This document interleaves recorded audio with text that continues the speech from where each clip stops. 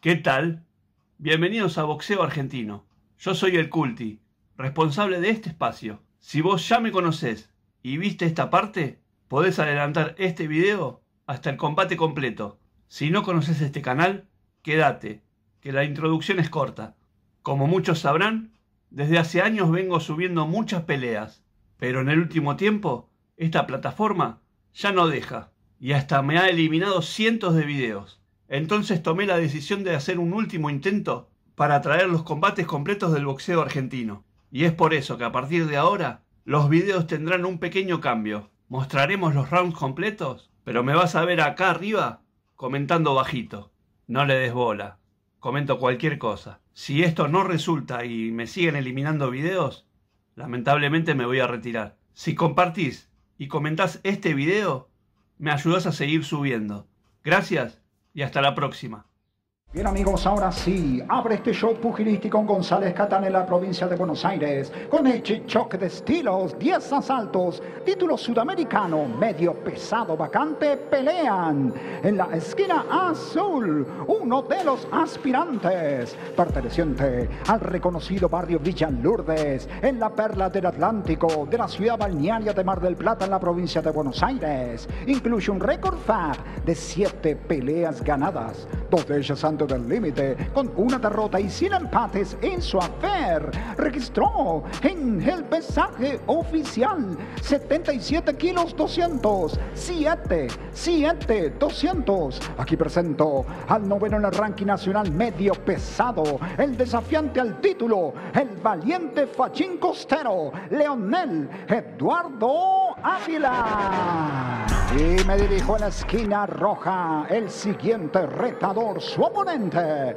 perteneciente a la ciudad de Villaguay en la provincia de Entre Ríos, acredita un récord FAB de 31 peleas ganadas, 17 de ellas antes del límite, con 5 derrotas y un empate en su afer. Registró en la báscula 77 kilos 200, 7, 7, 200. Aquí está el ex retador mundialista, múltiple campeón latino y tercero en el ranking nacional, el experimentado desafiante al título subcontinental medio pesado, el terrible bichanguachense Marcelo Esteban Cóceres.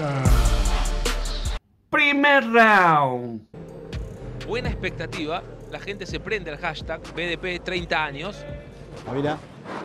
Allí está Zaragoza. Cóceres. Un poquito más. Bien. Vocal. Le digo la verdad, Charito.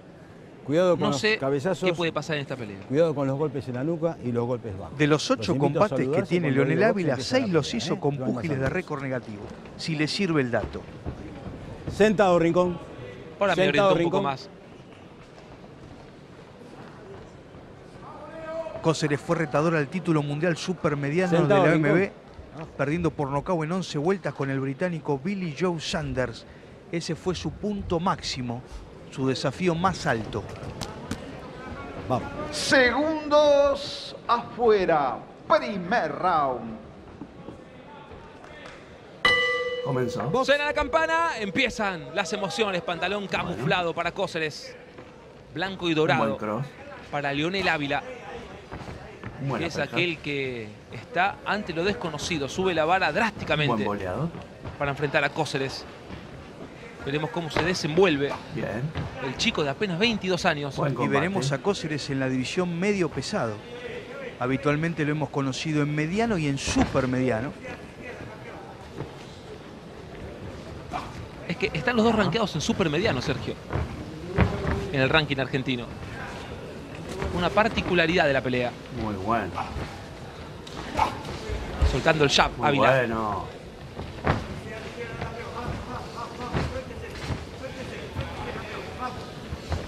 Cóceres es un boxeador que no se acelera. Parejo. Va creciendo incluso. De menos a más. Parejo. Cauteloso Ávila. Soltando la derecha Cóceres. Cóceres logró derribar a Edgar Berlanga, ¿se acuerda? Después terminó perdiendo. Cross derecho. Fue en la previa de Cross de izquierda. Wilder con Fury en la ciudad de Las Vegas. Excelente. Ha estado siempre a la altura cuando cruzó la frontera Cóceres. En aquella pelea con Sanders que usted mencionaba, nunca había hecho más de 10 rounds y perdió en el 11. Una tarjeta lo tenía ganador. ¿Quién le dice con más experiencia? De esa pelea después Saunders peleó con Canelo Álvarez, nada más y nada menos. Buena izquierda de Ávila. Mete 1-2. Empieza a encontrar impactos. Excelente. Pachín. Pero no se desespera Cóceres. El marplatense tiene en el rincón a Fernando Sosa y al gato Olivera. Pertenece al equipo de Lucas Bastida. Pertenecía, porque recuerda que Bastida ya Exacto. lo dejó. Pero sí, lo han llevado hasta las peleas más relevantes de la carrera del Tornado. Dos internacionales. Excelente uppercut. Sí, en Gran Bretaña con Gancho Josh Kelly y en. Francia. Después de esa pelea cambió el equipo Bastida. Gancho de derecha.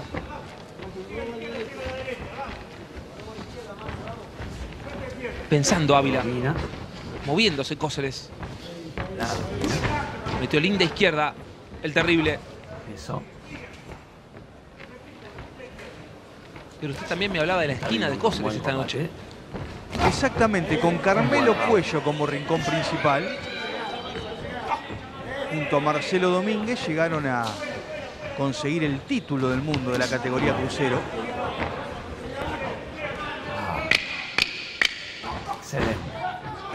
Suelta a la izquierda, llega Ávila. Le quiere meter un buen cierre al round. Que ha estado parejo, pellizca con el jab Cóceres. Campana. Segundo round. La pobre brasileña Daniela Aguiar. Comenzó. ganó por nocaut técnico en ocho vueltas. Bueno. Vamos. Segundo un round. cross. Veremos si empieza a activar Cóceres. Buena pelea. Que es el de la experiencia. Va con el jab. Anticipando con la izquierda Ávila. Que por ahora se muestra sólido. Bien. No mostró atismos de inexperiencia aún.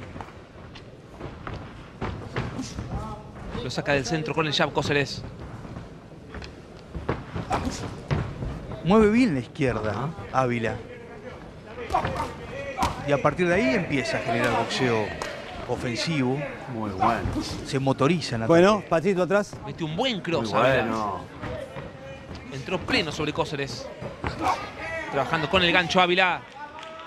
Decíamos en la previa que tiene más para arriesgar o por perder Cóceres que si cae Parejo. ante Ávila, la proyección internacional con aspiraciones Parejo. prácticamente cae por la borda.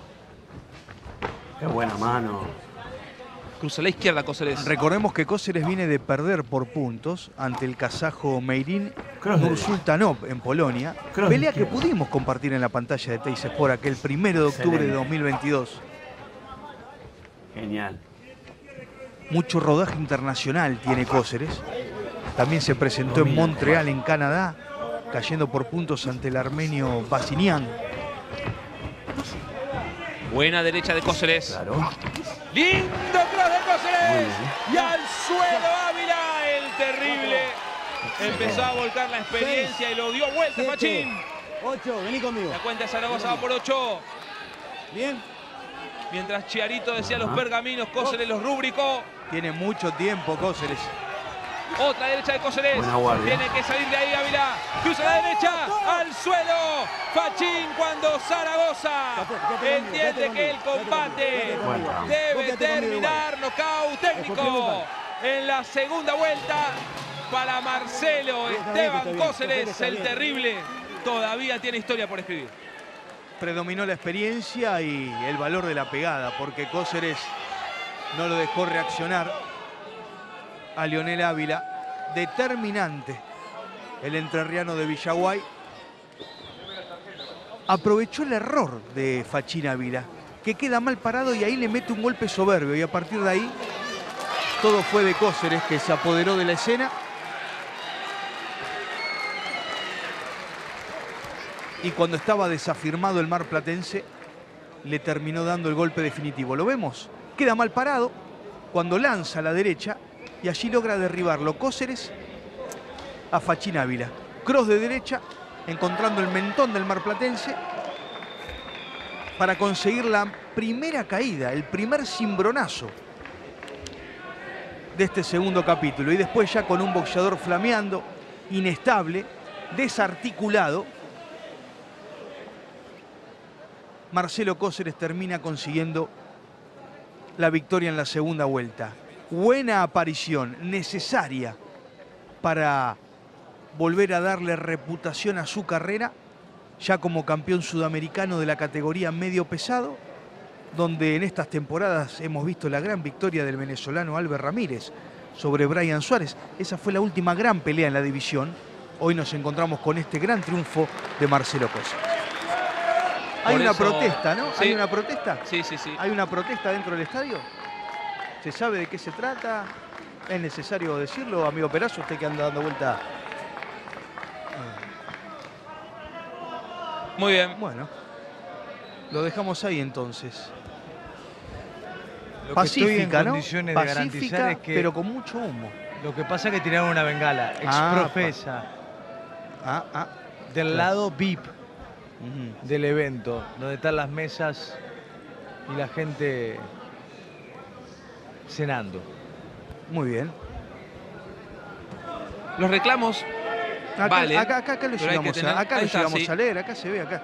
Eh, basta de explotar a los boxeadores, hablan de dignidad, respeto. es que el reclamo puede llegar a ser válido y puede ser apoyado o no por distintas personas.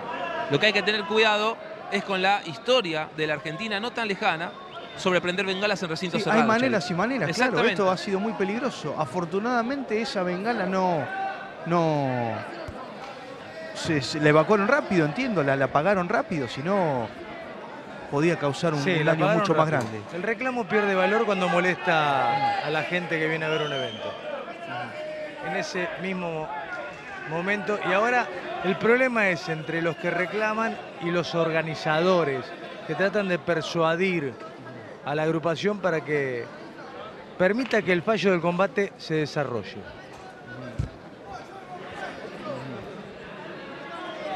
Claro, porque hay gente que organiza, que está vinculada al boxeo, hay gente de seguridad privada.